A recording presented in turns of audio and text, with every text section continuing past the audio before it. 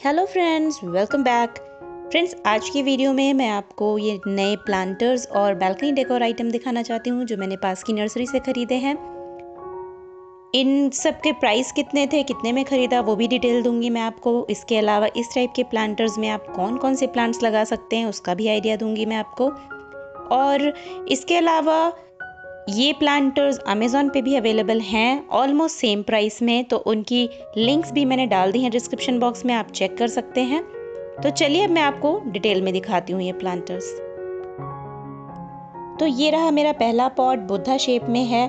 बहुत ही NEET finish वाला, बहुत ही खूबसूरत फिनिश वाला पॉट है ये। साइज़ वाइज ये बहुत अच्छा है। ये मुझे मिला है दो सौ अस्सी रुपये में। और ये भी अमेज़ोन पे अवेलेबल है ऑलमोस्ट सेम प्राइस में और दो तीन साइजेस में अवेलेबल है, कुछ कलर्स में और अवेलेबल है ये। और अगर हम बात करें कि इस टाइप के प्लांटर्स में आप किस तरह के प्लांट्स लगाएँ तो मैं सजेस्ट करूँगी स्पाइडर प्लांट या ड्वाफ वेराइटी का snake plant foxtail fern hanging basket वाले प्लांट जैसे tangled heart string of pearls etcetera काफ़ी अच्छा लगा मुझे ये प्लांटर अगर, और अगर आप इसमें इंडोर प्लांट लगाएँगे तो इसको आप अपने लिविंग रूम में भी रख के सजा सकते हैं। बहुत ही खूबसूरत दिखेगा। नेक्स्ट पॉट है ये बोट शेप का पॉट मेरे पास ऑलरेडी एक सेम पॉट है जिसमें मैंने जंगल थीम का फेरी गार्डन बनाया था। उसका लिंक मैं शेयर कर दूँगी, वो वीडियो आप चेक कर सकते हैं। ये पॉट मुझे दो सौ में मिला है। और इस टाइप के पॉट में आप डॉफ वेराइटी का स्नेक प्लांट लगाएँगे तो बहुत ही खूबसूरत दिखेगा और उसे आप परमानेंटली अपने लिविंग रूम में या बेडरूम में भी रख सकते हैं। नेक्स्ट है ये ग्रीन कलर का आउल शेप वाला पॉट ये मुझे मिला है दो सौ रुपये में। साइज़ वाइज ये बहुत बड़ा नहीं है, लेकिन इतना भी छोटा नहीं है कि आप उसमें कुछ ग्रो नहीं कर सकते। इसमें स्पाइडर प्लांट या डॉफ वेराइटी का स्नेक प्लांट या सक्यूलेंट्स बहुत ही अच्छे लगेंगे। ये पॉट भी अवेलेबल है अमेज़ोन पे, इसका लिंक मैंने डाल दिया है। और कुछ सिमिलर प्रोडक्ट्स भी हैं जो मुझे काफ़ी अच्छे लगे, उनके लिंक भी मैंने डाल दिए हैं तो आप चेक कर सकते हैं।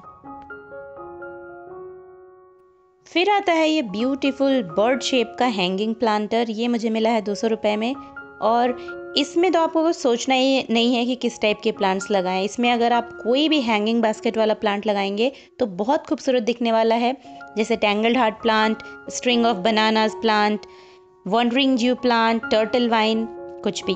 बस इसमें आपको तीन रोप्स लगा करके इसको बाँध देंगे तो ये हैंग करने के लिए रेडी हो जाएगा। मुझे बहुत पसंद आई ये प्लांटर नेक्स्ट पॉट है, ये बहुत ही सिंपल सा दिखने वाला वाइट कलर का स्क्वायर शेप में फोर इंचेस का पॉट ये मिला है मुझे एक सौ में और इस टाइप के पॉट में आप लगा सकते हैं jade plant foxtail fern spider plant money plant या फिर सिंगोनियम और फर्न्स की ड्वाफ वेराइटीज़ बहुत ही खूबसूरत दिखेगा।